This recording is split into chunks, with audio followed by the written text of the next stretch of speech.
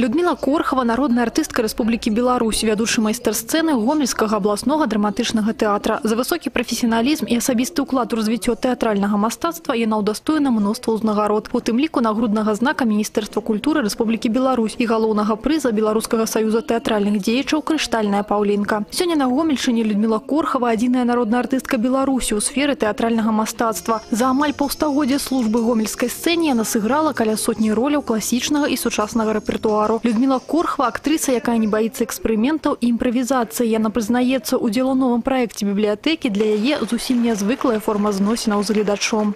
Я пришла вот на такую встречу, честно говоря, впервые. И мне самой очень интересно. Это моя первая проба.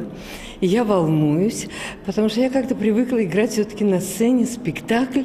Это режиссер, это автор, и я создающий образ. А вот такое общение с глазу на глаз у меня впервые.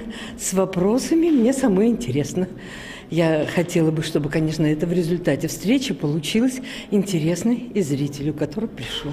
Героямі новага праекта Гомель у асобах у наступным годзе стануць ганаровыя грамадзяне горада, удзельнікі і ветэраны вялікай айчыннай вайны, прадстаўнікі навукі, медыцыны, культуры і спорту. Плануецца, што ў абласной бібліятэцы можна будзе сустрэцца з заслужаным дзеячам навукі Рэспублікі Беларусь і Юрыем Плескачэўскім, доктарам філалагічных навук, прафесарам Іванам Штэйнерам, народнай артысткай Беларусі Галінай Паўлянок, заслужаным дзеячам мастацтва нашай краіны Робертам Ландарскім і многімі іншымі выдатнымі асобамі горада над Сожам. Праект прадугледжвае творчыя сустрэчы, прэзентацыі кніг, музычныя вечары, літаратурна-мастацкія і фотавыставы.